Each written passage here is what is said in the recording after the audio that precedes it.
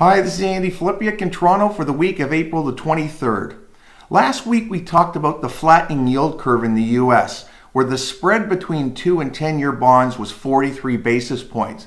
Well, almost exactly after I finished the video, the yield curve started to widen, and as of the time of this video, we're now at 53 basis points.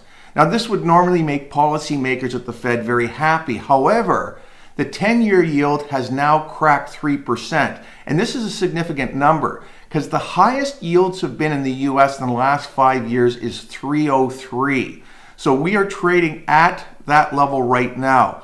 If we break through, because most bond trading is done on a technical basis, it is quite possible we will see yields spike up sharply. So say run from 303 to 350 very quickly. And this is one of the last thing policymakers want is a sharp run up in interest rates as the US and the world is currently at the highest level of debt in relation to GDP ever. So while they want the yield curve to widen, they don't want to do it too quickly.